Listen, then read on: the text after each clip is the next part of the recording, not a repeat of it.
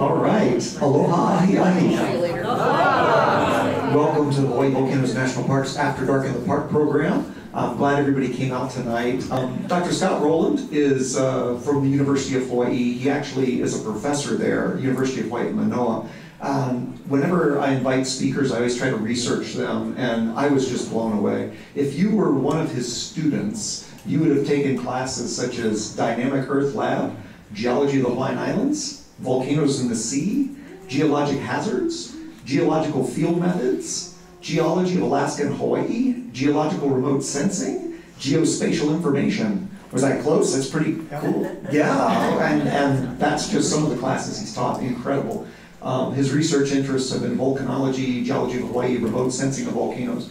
Um, I first heard about Dr. Rowland as he was doing some work with the Mars rovers, and I was really impressed. I was like, wow. Um, he's now a faculty member in the very same department in which he earned his doctorate.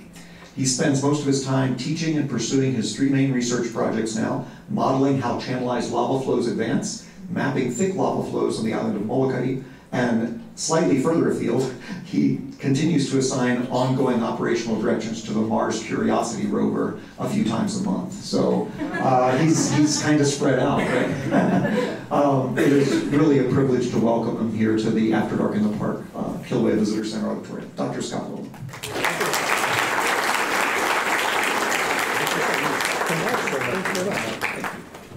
Thank you.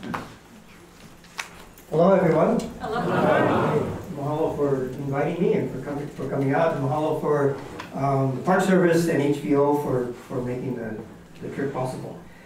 Um, this is this is kind of a blast from the past for me, not because I was here in 1919, um, but because 26 years ago, a, a, grad student named Duncan Munro and I wrote a paper about Mauna Iki. And I'm guessing that that is the reason why I'm the one who got asked to come talk about an eruption that happened 100, 100 years ago.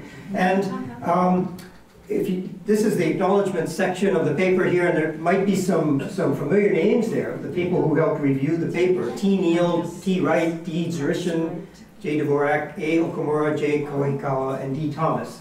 Um, if you're not familiar with publishing papers in scientific journals, um, it's important to acknowledge your reviewers because it's a polite thing to do, and because reviewers of papers really, really help. A good review makes a paper much better. And to this day, there's something that I forgot to put in the paper that Tina Neal told me to put in, or suggested I put in, that I'm really glad it was there. Um, I, am still embarrassed that I didn't think of it on myself. And that is that we could not have written this paper had not there been careful field measurements by HVO geologists back in 1919 and 1920. At the time, there were two of them, um, but they made, in some cases, daily measurements of the level of Halemaumau Lava Lake. Um, they would hike out into Ka'u Desert to look at what Mauna Iki was doing. Um, so it's still important today. Being out in the field, making careful measurements and observations, noting where they are, what time they are, what day they are, all that kind of stuff is the same as it was 100 years ago.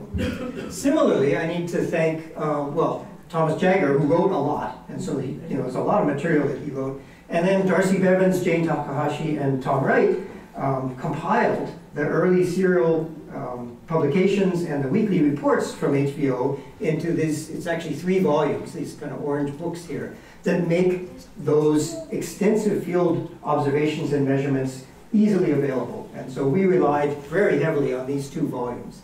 And then finally, the other reason why I sort of know Mauna is that it's a really, really good place to teach geologists about volcanic surfaces, particularly with respect to remote sensing. And, and, and I'll talk about that a little bit at the very end.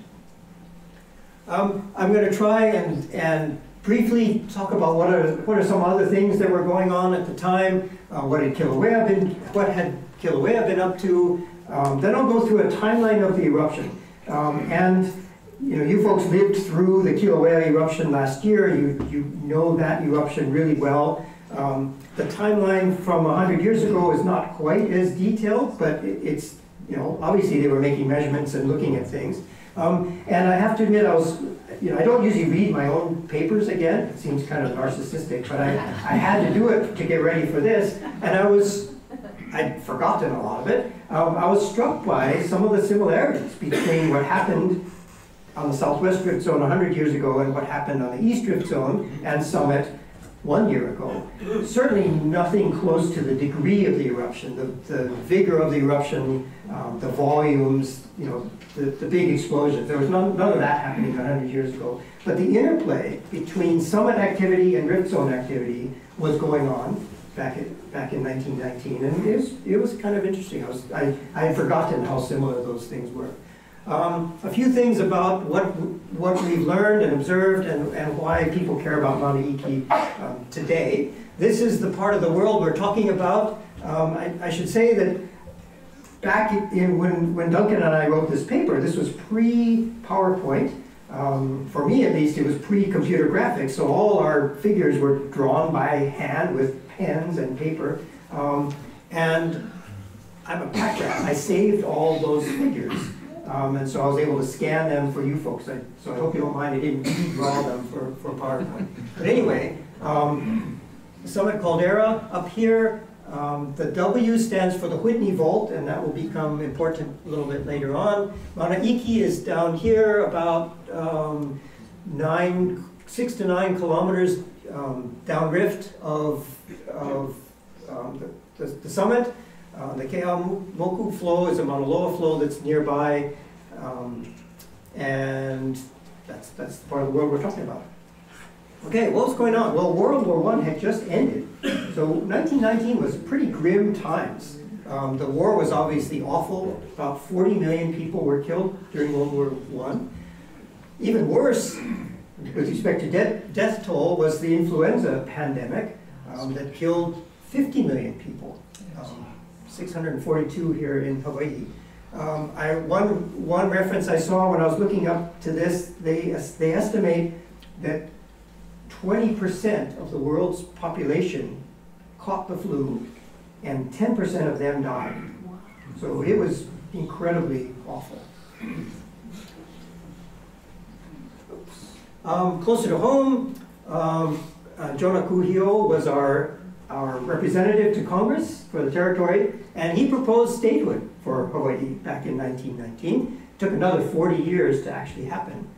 Um, and geologically, Mauna Loa erupted in sort of late September to early November time, um, producing the Alika flow. And this is this photograph and the descriptions of the eruption launched a thousand misconceptions about Pahoehoe and A'a, which is faster and and how fast the lava flows move, but we won't talk about those. Kilauea uh, was known at the time for the lava lake at Halemaumau. And from the time that Westerners arrived and first saw the, the summit, um, until this time, 1919, there had been a lava lake at, in Halemaumau. And it went up and it went down. Um, sometimes it went high enough to spill out onto the floor of Kilauea. And you read about um, in some of those old uh, descriptions of the postal rift flow. It took me a long time to figure out, what are they talking about, postal rift flow? But basically, it was a flow that spilled out of Halemaumau onto the caldera floor, and tourists would walk up to the edge of it and singe postcards, and then send them home. And that's, that's where that flow got, it, got its name. Um, this is what it looked like in 2000, uh, sorry, oh, 2017, sorry, 1917, excuse me. I didn't catch all the titles. Um, 1917, sorry. Um, and Thomas Jaggar would, would go on almost daily and make observations and measurements of the height of the level there. And, and he also made these, um, these maps. And I don't know why he chose white on black, um, but in these maps, the white color is molten lava. And so here's a map, and then here's a cross, cross section. All right, you're going to see this a bunch of times, and there's lots of words, so don't panic. Um, each time, all we care about is the yellow part. Okay, so we'll go through this. So pre-eruption, Halemaumau Lava Lake was fluctuating up and down, occasionally overflowing. On November 28th of 1919, the lake level dropped 180 meters in four hours. That's a pretty, con pretty considerable drop. And it was pretty quiet. There were a few small earthquakes, but otherwise it was just draining away.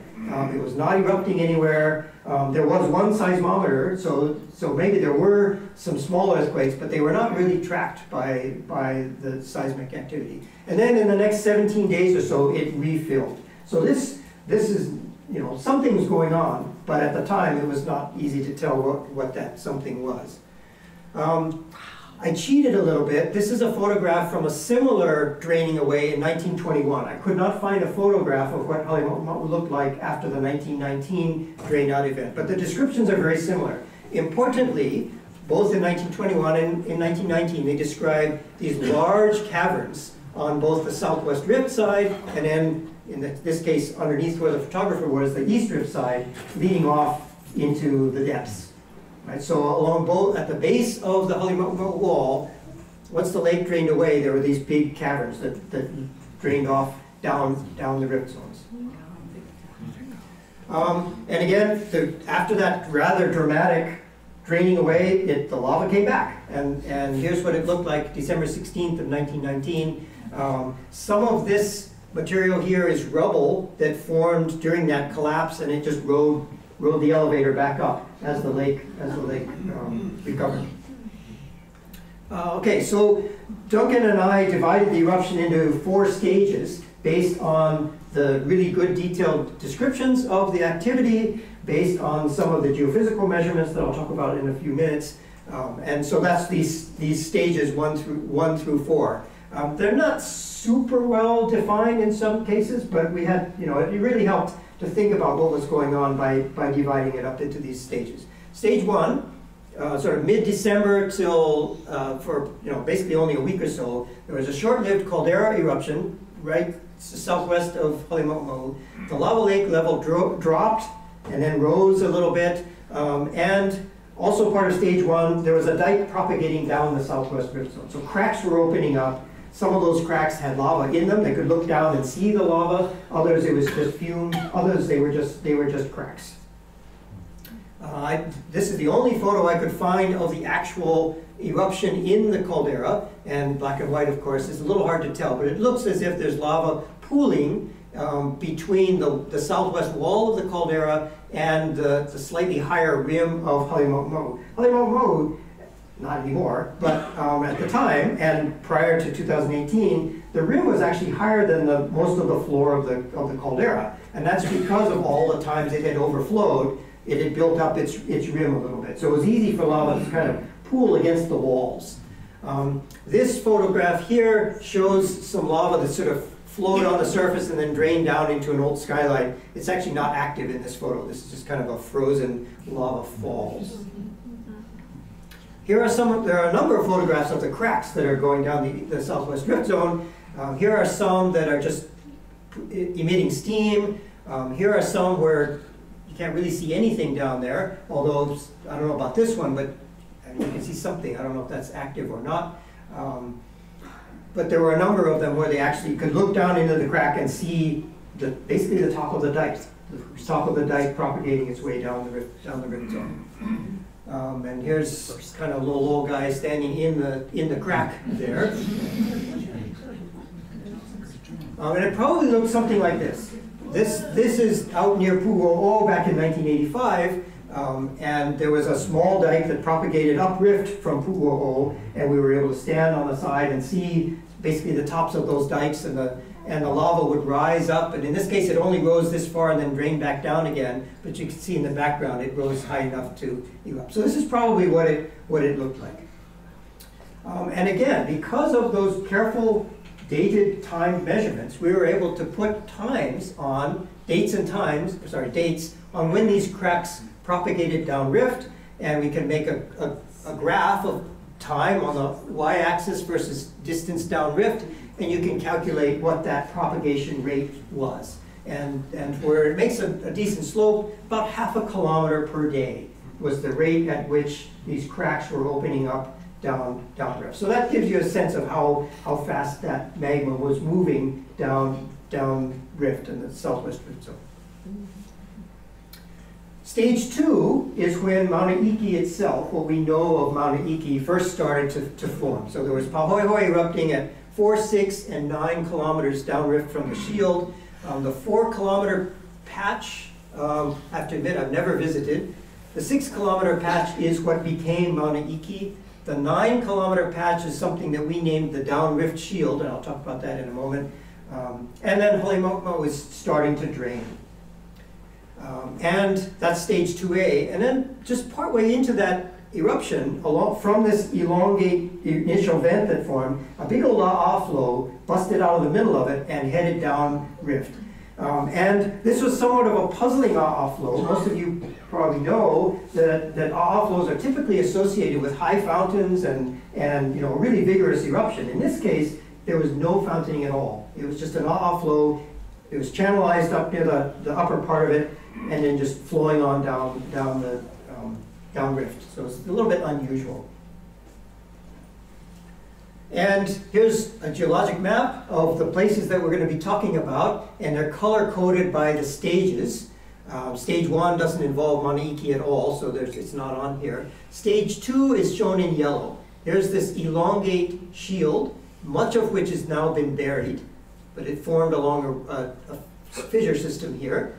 Um, this is the, the downrift shield, and there's a couple little patches as well of, of lava that erupted out. Stage 2B is this orange flow here. Um, so this is our low-tech hand-colored pen, pencil diagram. And then here's some um, stitched together air photos. Um, here's this elongate stage 2A shield sort of, um, the, the uh, stage 2B AA flow, which is partly buried by, by later lava. So these are the, the parts of the parts of the, the Ka'u Desert that, that we're talking about. Here's what it looked like as Mauna Iki was starting to be built. Um, you know, it's, it's a relatively sparsely vegetated area, and much of Ka'u, if you haven't hiked, if you haven't hiked out in that area, it's beautiful. I mean, it's part of the, you know, my opinion about the most beautiful part of the park. Um, and, you know, Pahoehoe lava's inundating the, the, the forest there. This is the downrift shield. So Mauna Iki in this case is viewed from the air. Mauna Iki would be off below us, kind of down to the right. Um, it's not very big. It only erupted for, for a short period of time, but it built a relatively small little lava shield in this place. This is an area of lots and lots of wind-blown sand, lots and lots of basaltic sand. That's one of the reasons why Martian people, well, Martian geologists like it, because um, there's lots of wind-blown basaltic sand on Mars. There's not a whole lot on Earth. Um, the, the arrow indicates the, the position and view of the next photo. So that's that's kind of what it looks like down there. And you can see it's been, you know, it's got lots, it's collected a lot of, of windblown sand itself.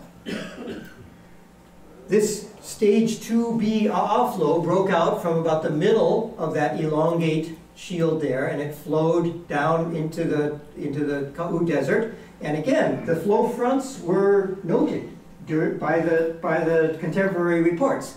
And they allow us to track the progression of that flow. It initially flowed very rapidly, five and a half kilometers per day, and then it slowed down and flowed at you know less than half a less than half a kilometer per day. But again, you know this was when you know when we were reading this, this was 70 something years after the eruption, and yet we were able to take that data from those really good reports and say something about the advance rate of the flow. Again, be showing how important it is to, to take good field notes whenever you're out there doing that kind of work. Here are a couple photos of what that AA flow looked like. Up, up at its source, it was well channelized and nice smooth pahoehoe lava with some overflows. Here, a little bit later, the level has dropped somewhat. And this channel is still there. You can go out and walk in that, in that channel. It's a really well-defined channel, and it's a great place to look at the transition from Pahoehoe to A'a. It takes place over a relatively short distance. You can just walk down this channel uh, another couple hundred meters or so, and it turns into an A'a flow. So it's a pretty classic place to take students to look at that process. And it's, you know, we've got all this satellite imagery. We can look at that as, look at that as well.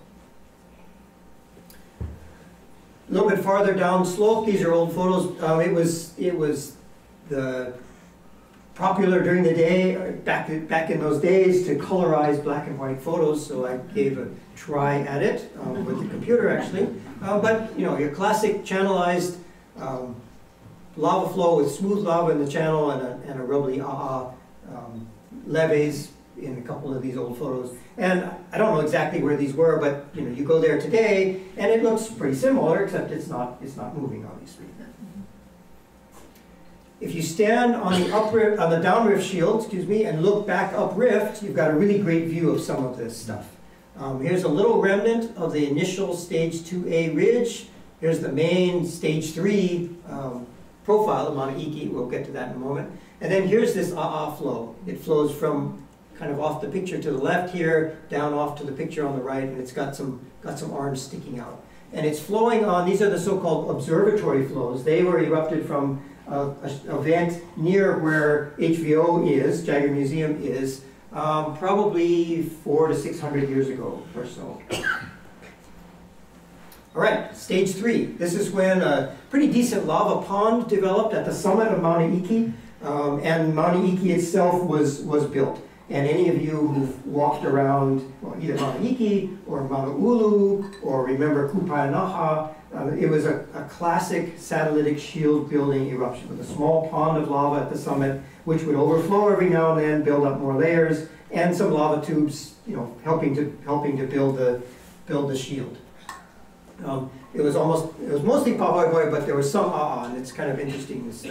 And at that time, Halemaumau was refilling. So we'll, when we start looking at volumes later on, we're going to have to account for the fact that Mauna Iki is building, obviously requiring lava volume, and Halemaumau was also filling. And so both of those had to be supplied from depth um, during, this, during this particular stage.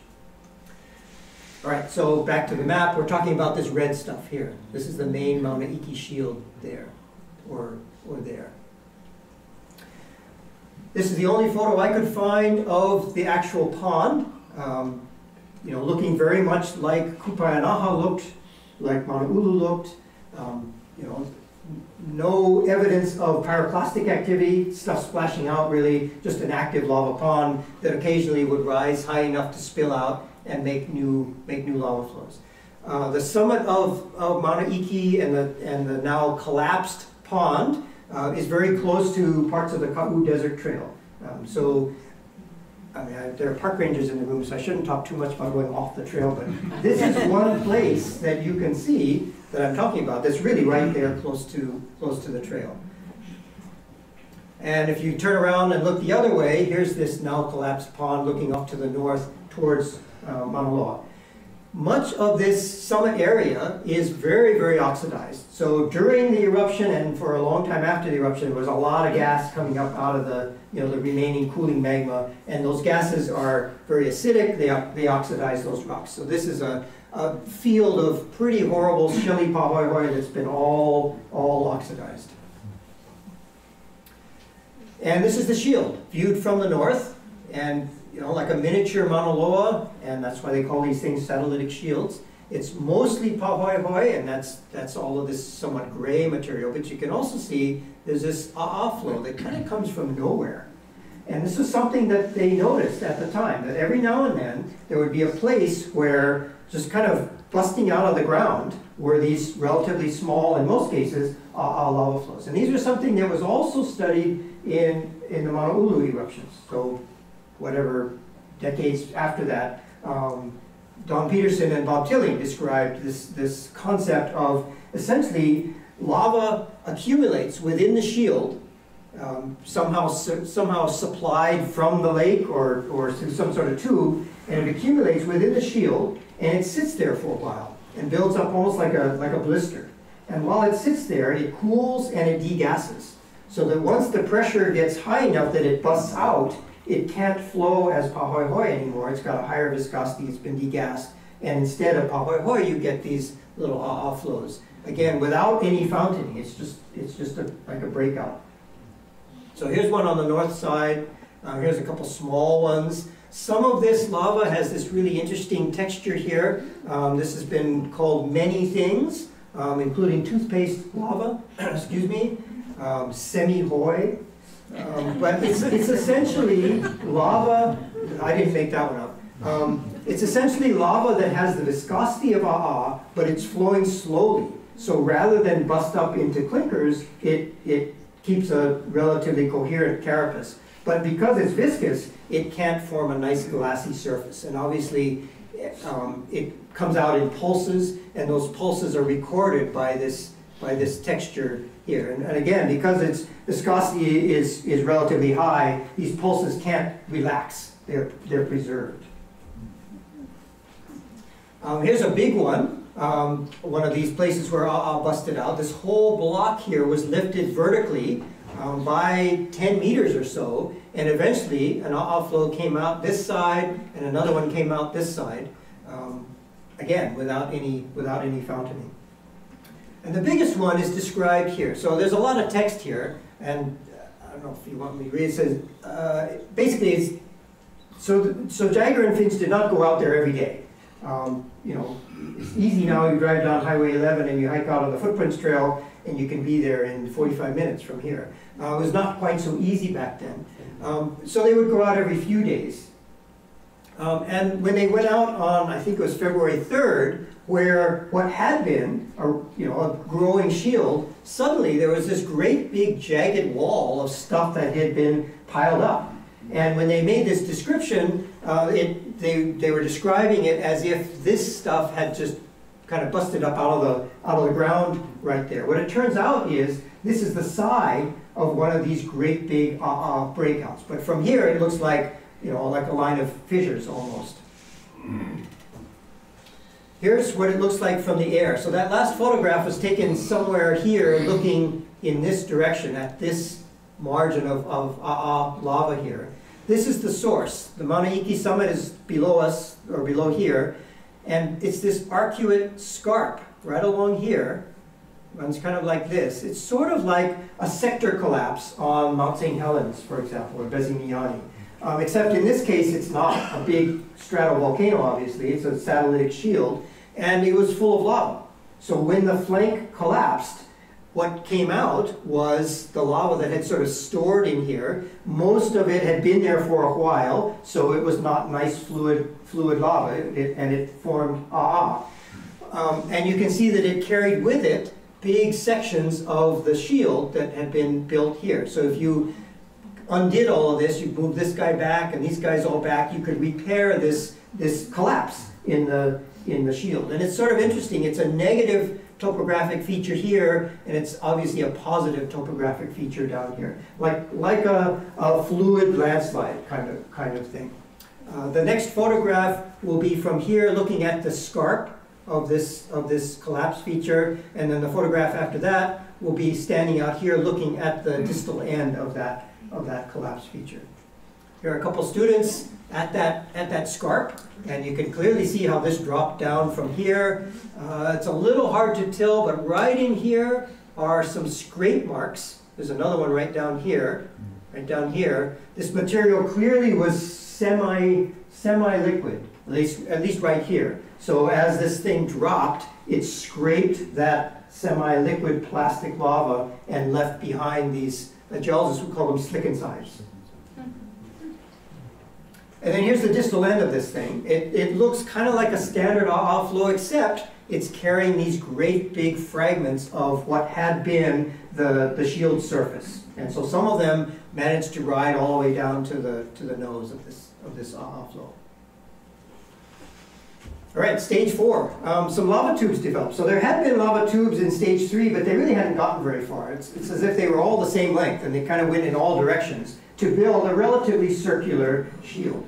But towards this last stage, the tubes managed to develop so that they could carry lava farther, farther away. And so this is when the, the Pahoehoe portion of the eruption went, went downrift as well. It didn't get quite as far as that early A'a flow, but it got most, most of the way. Uh, here's a photograph of a skylight into one of those tubes back at, back at the time. And up on the, the main, near the main summit of Mauna Iki, there's a chain of skylights. They're pretty impressive. The tube up there is, is quite large. Um, it's, it collapsed, and you can tell that it collapsed um, after the eruption because it's full of this talus rubble. If it had collapsed during the eruption, that would have all been carried away.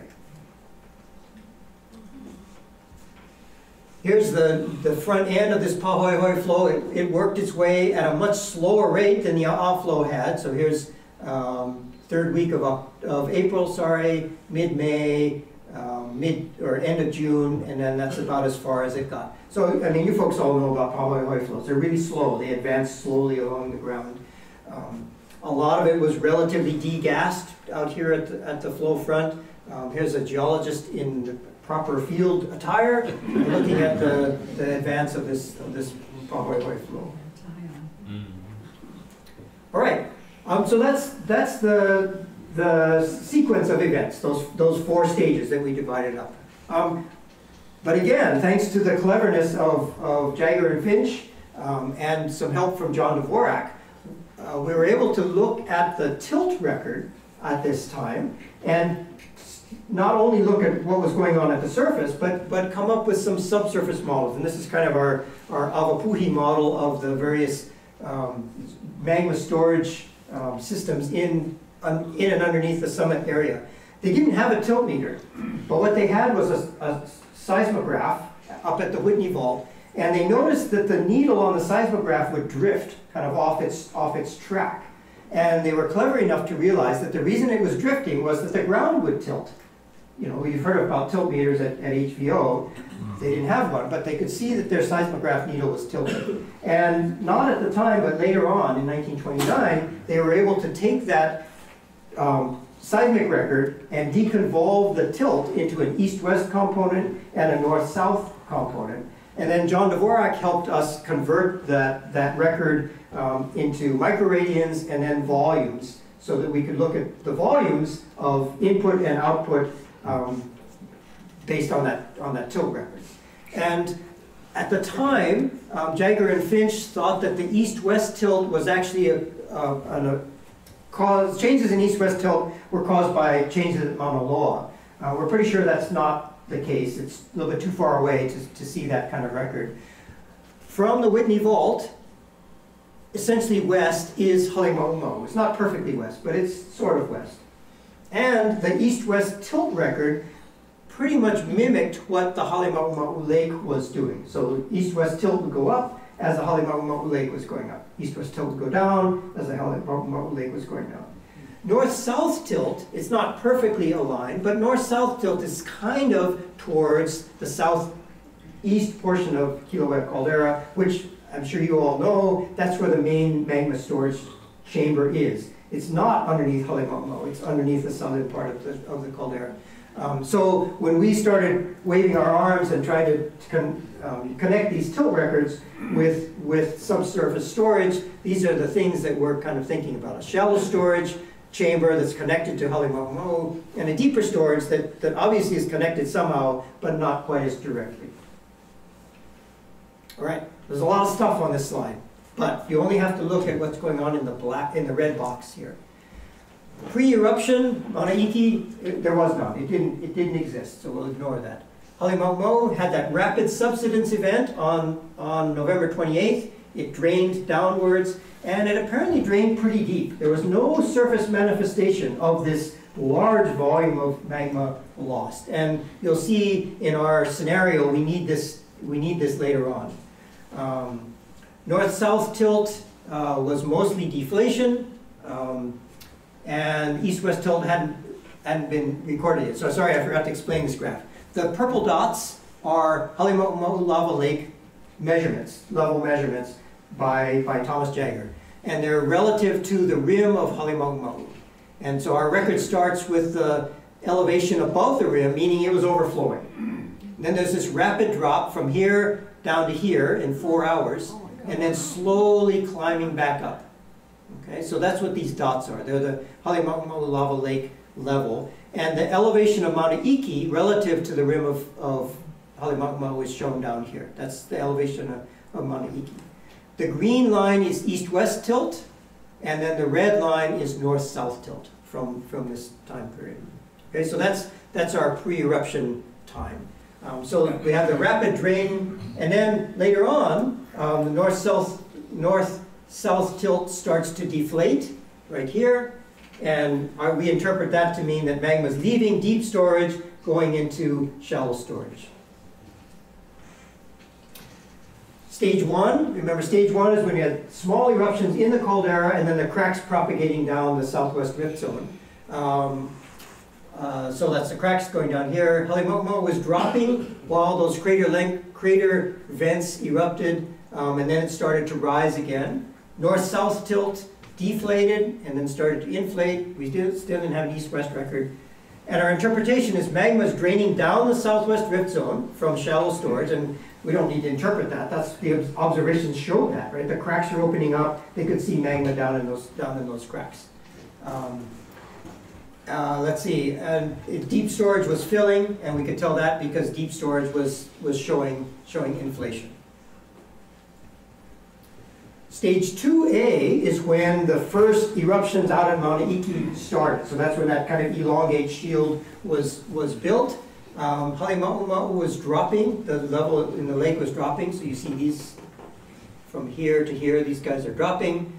Um, North-south tilt was inflating, so we're losing magma from Halemaumau, we're gaining magma in deep storage.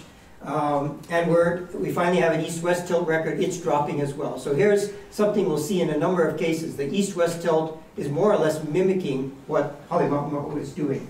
And the key thing when we start talking about volumes in a few minutes, the, the rate at which lava was being erupted out at Mauna Iki was the same as the volume loss at Halemaumau. So there was a match between what was lost at Halemaumau and what was erupting out at Mauna Iki, as if it was just draining down downrift.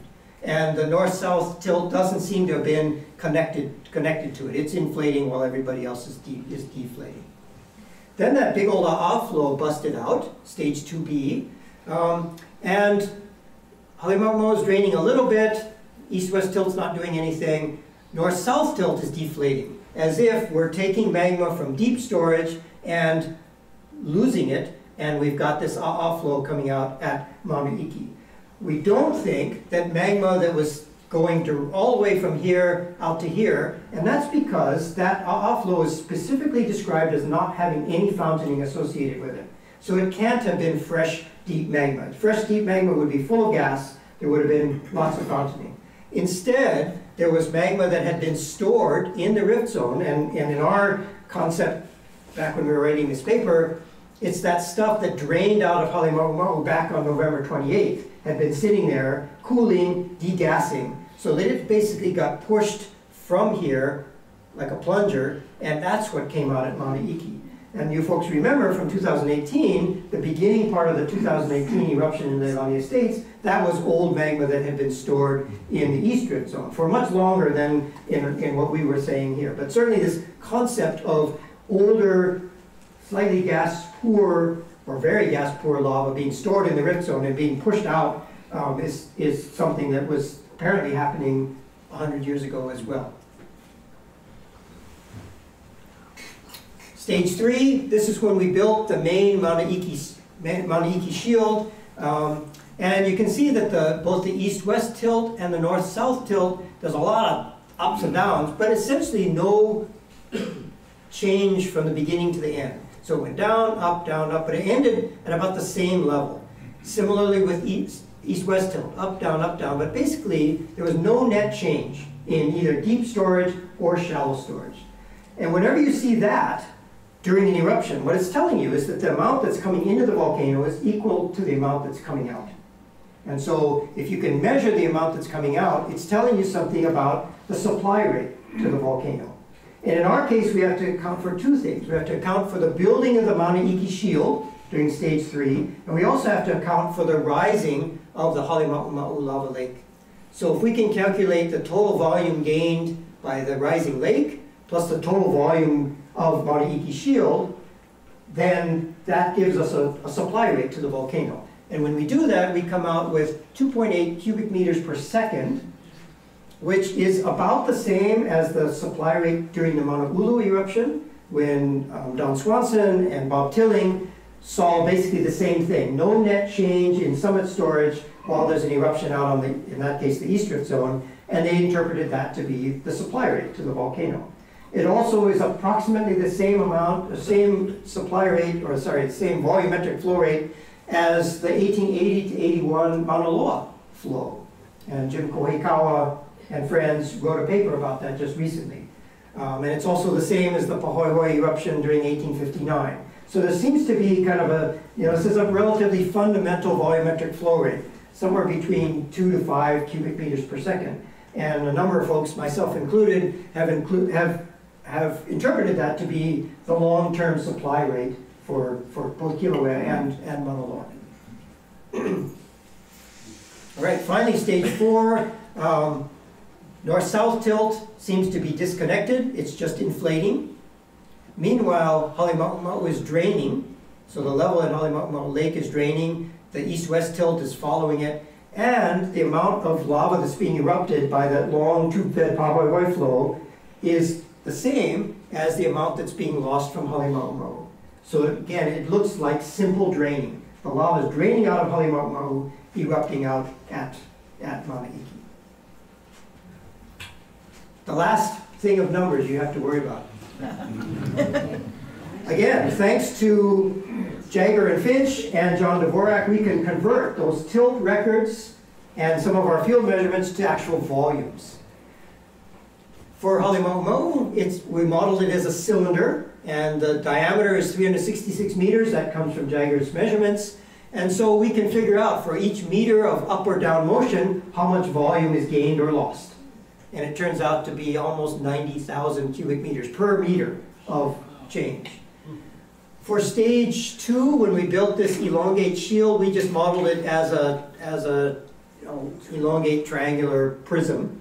Um, oh, sorry, that's stage two here. For the tilt, um, the deflection of the seismograph needle, one centimeter of deflection gets converted to 1.2 seconds of arc. Maybe you don't care about that. Um, but essentially, we can convert um, almost 6 million cubic meters per centimeter of deflection. So that's how we get volumes out of those tilt, those tilt records. Uh, we modeled the volume of the shield. For the outflow, we just map it. So we get the area, then we go out in the field and we measure how thick the flow is at a bunch of places. So we've got area times thickness and we've got volume. For the main stage three shield, it's a right circular cone. We know how high it is, we know its um, diameter uh, or radius. In this case, we can calculate a volume. And then the Pahoehoe flow, again, we map it in imagery and go out and measure its thickness. So we can calculate volumes for all of these guys. And obviously you have to, you know, these are relatively rough measurements. You have to account for vesicularity. So, you know, I, I, I don't want to bet anyone's life on these volumes being accurate, you know, to the closest cubic meter, but, you know, within ballpark, we're, you know, we're geologists. We're okay with that kind of thing. At least I am. All right, so what do we do with this? Here's time on the x-axis, volume gained at Mauna Iki, it only goes up and volume lost or gained by deep storage and by Halemaumau. Okay? And we're not going to look at the whole thing, we'll look at part of it. Here's when we're the first eruption out at Mauna Iki, the eruption rate, volume gained out at Mauna Iki, is equal to the volume lost at Halemaumau. That's good evidence that it's just draining.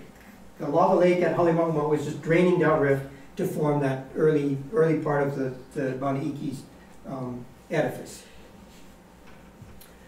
Stage 2B, this is that big old outflow. Um, here's the volume gained out at Mauna. Here's the volume lost from deep storage. In fact, deep storage lost more than, than this volume here. But this is our um, part of our evidence that, that the impulse for making that big outflow had to have come from deep storage because the volume, the rates at which volume was changing are the, are the same even though the, the total volumes lost down here is a little bit more. Erupted at Mauna Iki and gained at Halemaumau. Remember, this is stage three. Here's the, the deep storage. Remember, there were lots of ups and downs, but the, the overall, there was no volume change from deep storage. So here's our evidence that this volume gained plus this volume gained equals the input rate to the volcano because there was no net gain or loss by deep storage. And then finally, stage four, here's the, the downrift Pahoehoe flow, and here's the, the volume lost from Halemaumau. This is a positive slope because we're gaining volume. This is a negative slope because we're losing volume, but the slopes are the same. And the, and the, um, the vertical changes are the same. So again, another instance where it looks like simple draining from the Halemaumau Lake out to, out to Mauna Iki and then north-south tilt doesn't even care. It's just, you know, it's over for me. I'm just going to start recovering for the next eruption. All right? You know what? I'm going to skip this because there's too many numbers. I'm going to give the park folks the PowerPoint slides. If for some strange reason you want to look at them, you can. All right, why else do we care about Mauna Iki? That's, that's the end of my summary of the eruption. But Why else do we care? Well, I mentioned my Martian friends. Um, most of them will never get to visit their field area. Right? Unless you're lucky enough that your field area is one of the places where we send a rover, um, you're never going to go there. You'll get lots of images from satellites or telescope from, from Earth, uh, but you're not going to get to go there. So you have to have a good understanding of what a surface in a satellite image means geologically. And satellites cannot get resolution like this. Um, so you know, you, it's like you're kind of blur your eyes a little bit what you're gonna what you're gonna see. Um, and so these colleagues looked. They they came out actually on one of our our NASA workshops that we run, and they were intrigued by this stuff. And I've always thought this is beautiful uh, material here. Um, this is degassed pahoehoe. When it's fresh, it looks like this. It's blue and it's glassy. And in fact, the HVO folks call it blue glassy lava for obvious reason. But the blue glassy surface doesn't last very long. Within a few months, it's, the blue sheen is gone, and it starts to develop this secondary coating on it. That's, a, that's kind of or iron oxide color. Um, it clearly does not like to develop where there are pre-existing cracks in the, in the lava. So it's, this is kind of enigmatic stuff. Um, the P and the S refer to P-type pahoehoe and S-type pahoehoe, and this really gets into the weeds of, of you know, lava nerdiness. Uh, but George Walker uh, at the University of Hawaii, when he was there, coined these terms. The P stands for pipe vesicle bearing.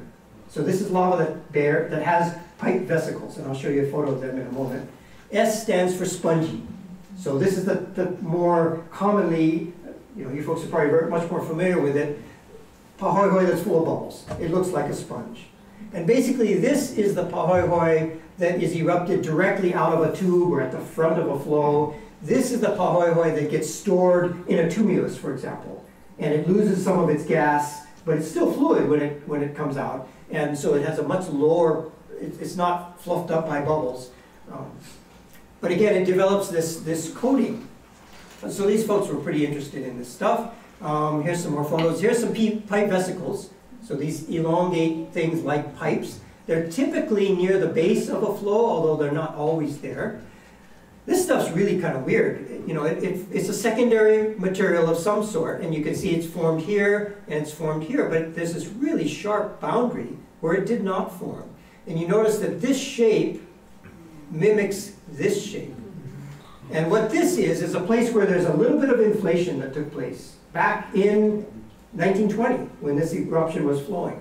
So this, this flow flowed out on top of this one and probably sat there for you know, only an hour or so at most. And then this flow inflated and the inflation process lifted it up off this flow.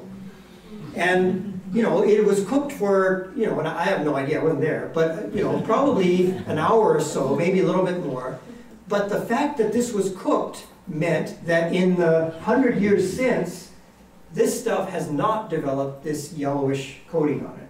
So something about being cooked changed either the chemistry or the physical nature of that surface, or both, so that this secondary material did not develop on here. I don't understand that part.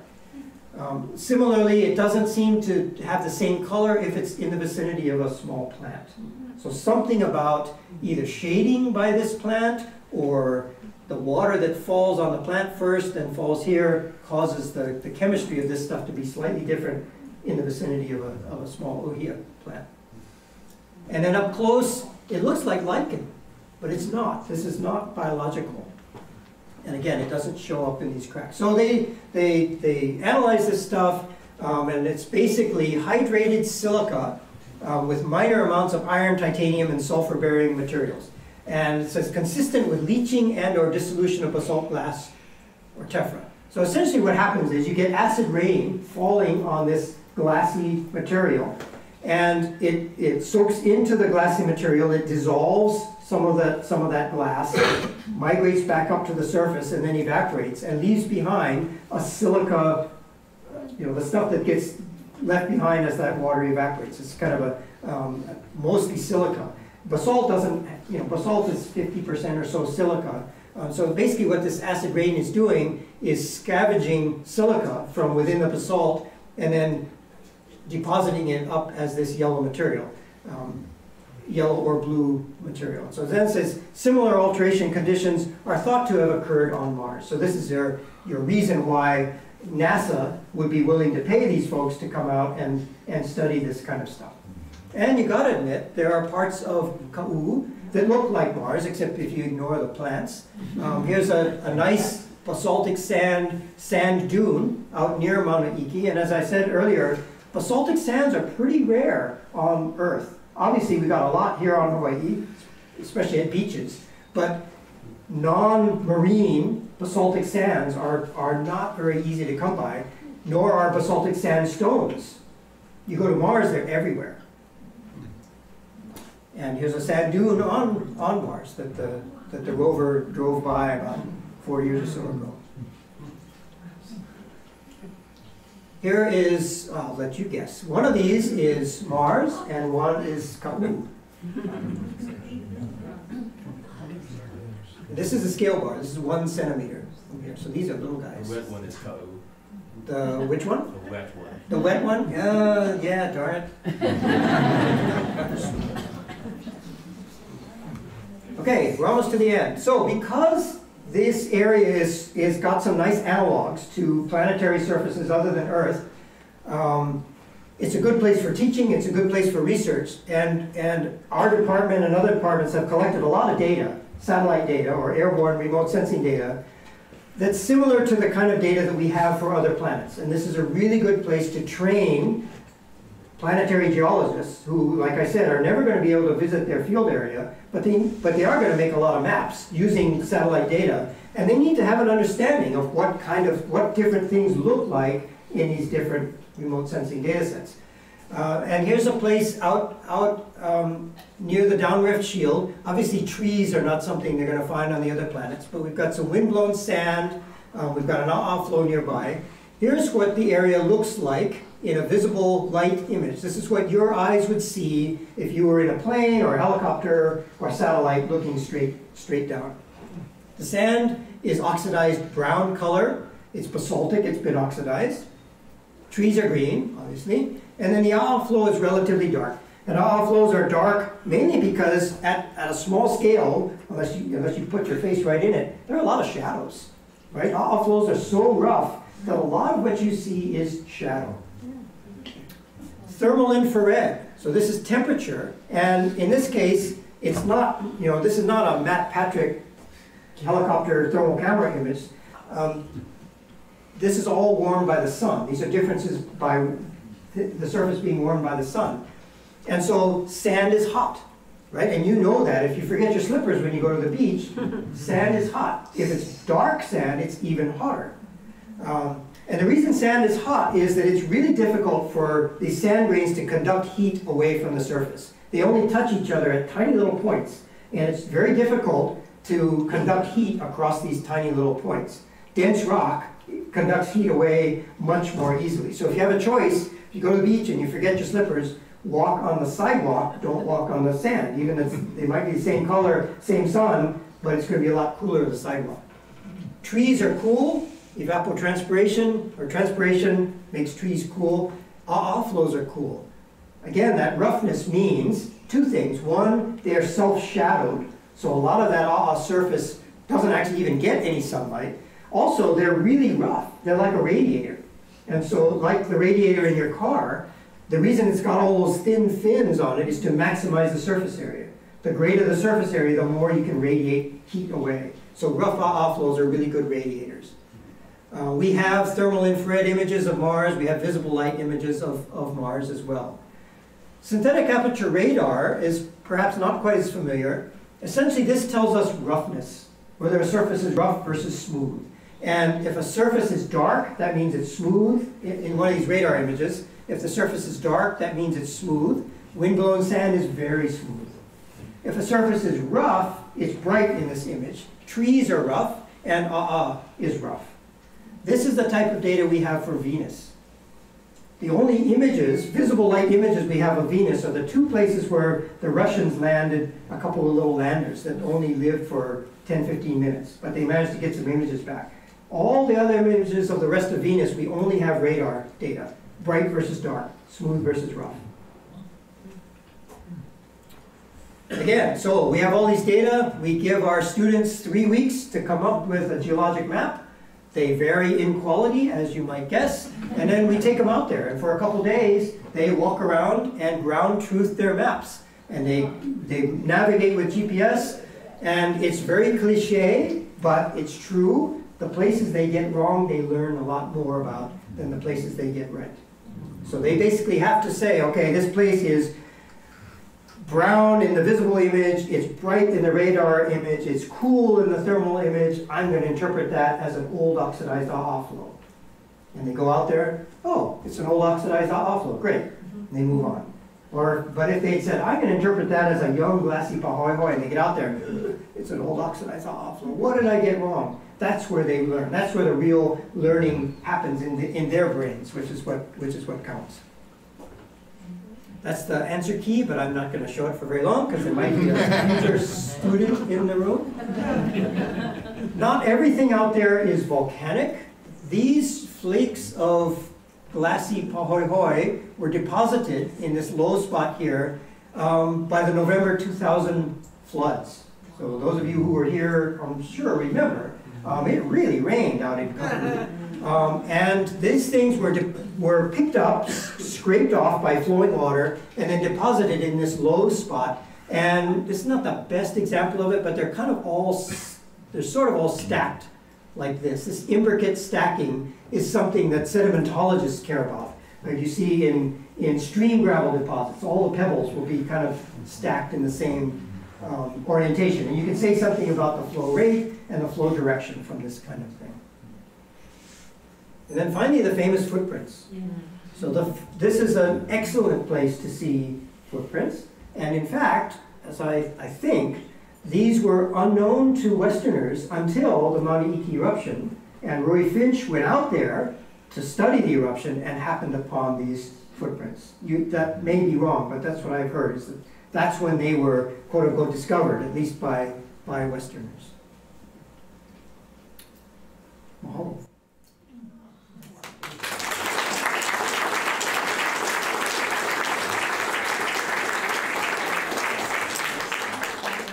And of course, I'm happy to answer questions. How is basaltic sand created? The, the question is, how is basaltic sand created? Uh, it, it depends on what environment you're in. Down at Kapoho, it's being created by waves crashing on young lava flows. Up here in Ka'u, basically it's the wind blowing across glassy pahoehoe flows. Um, flows, as they cool, the surfaces tend to crack just by thermal contraction. So there's a lot of loose pieces. A good gust of wind will pick up some of those pieces, blow it along, it'll tumble, it'll crack into smaller pieces, and pretty soon you've got sand. So it's, in this case, it's just basically being gusted on by wind and fragmenting in that, in that process. So is that happening shortly after the Pahoehoe flow has, has, It, it certainly can. Um, i- if, if you get it, I don't know if we'll ever get to again, but if you get a chance to see a Pahoehoe flow flowing, um, you sit there and you watch this thing in, in place, and if you sit long enough, it'll start to crack, and you can even hear it. And if you watch carefully enough, you see little pieces busting off. And, and if you stay hours and days, you'll see that as it contracts, the surface of the flow is really, it's kind of detached from the, from the part below. Ka'u is a very windy place, so you take all those detached pieces, start blowing them around, they start breaking into smaller and smaller pieces. And so your basaltic sand here is fragments of that glassy crust, plus any mineral crystals that are, that are, that were included in that as, as well. so it, the sand forms shortly after the eruption? It starts to form shortly after the eruption, but it continues. It, it's, it's not, I mean, there's sand forming out there, right, well, maybe not today, it's not much wind, but, you know, today, there's still sand being formed. Yeah, So, you, you know, in high school, you get the model of a volcano and it's pretty simple. You get a cone and underneath is just a flow of lava that's coming from the Earth's center. right. And you mentioned, I saw the drawing, you, you showed the drawings and you said there's, uh, um, a, a chamber where the lava is deposited. So my question is, how is that maintain, uh, maintains its warmth? Oh, that's, sorry. That's a great question. The question is, how do you maintain the, excuse me, um, excuse me, a- a- an active magma chamber, a molten magma chamber?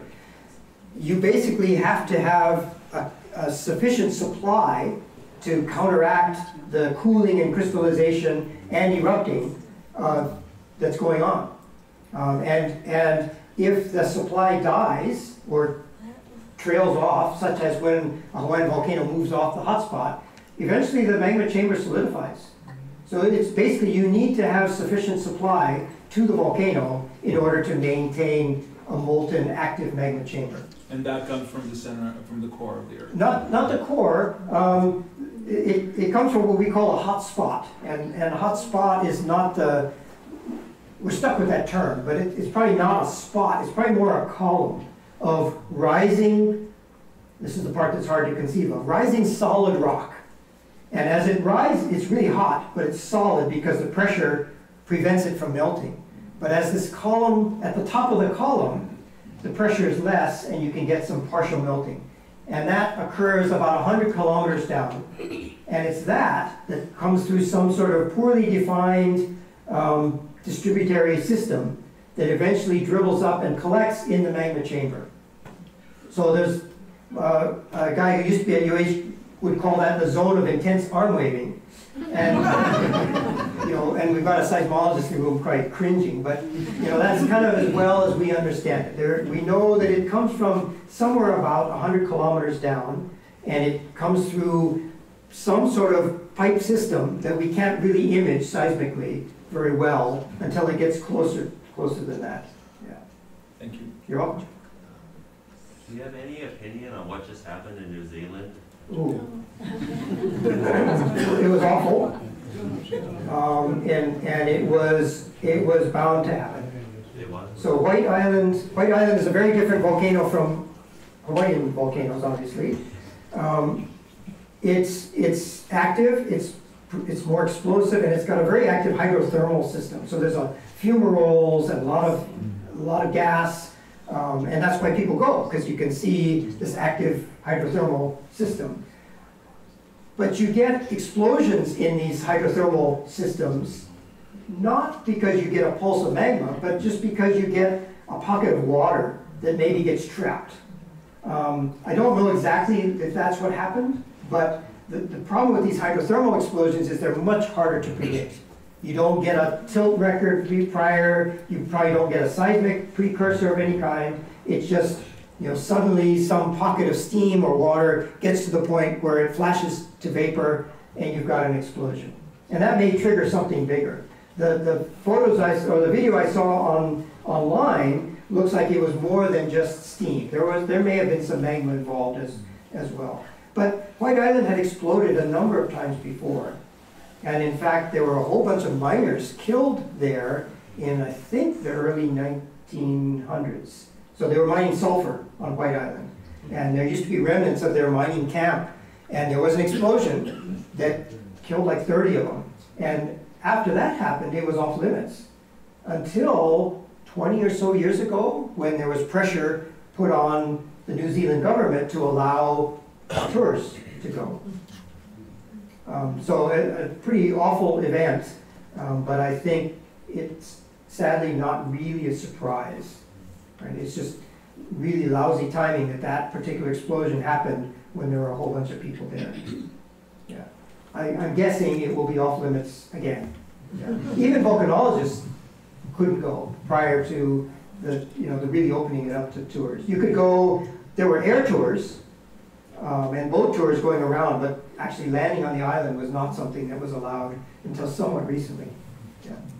Let's do one more question, Dr. Rowland, and then we'll wrap up so that people can go, okay? You want to go home?